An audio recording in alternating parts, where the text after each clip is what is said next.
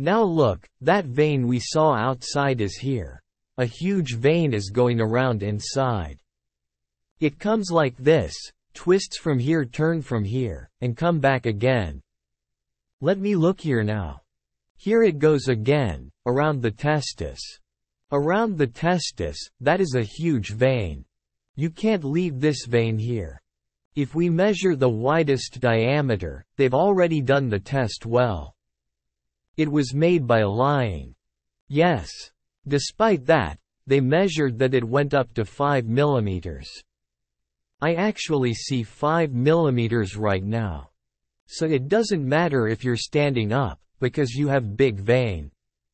Despite that, they measured that it went up to 5 millimeters. I actually see 5 millimeters right now. So it doesn't matter if you're standing up, because you have big vein. Naturally, patients are very obsessed with this standing and lying story. We say too. It is especially important in the veins that are in between. But yours is a very obvious vein. I'm looking at its reflux now. When I press on the colored Doppler, you can see that this place is full of reflux even before I say strain or something. Colorful. This is already very clear. A varicose vein that needs surgery. The saddest part here is that you've already had surgery. If that vein had been removed, no more surgery would be needed. Doesn't normal varicocele surgery recur even if this vein is not present? There are those who do. We also have recurred patients. After that, this is one of the patients we can do the easiest, with the best results. It's a huge vein. Let's have a look. When you strain while standing, the size does not change much. It's already swollen. Huge vein. And the reason I called you here on the Doppler is before the surgery.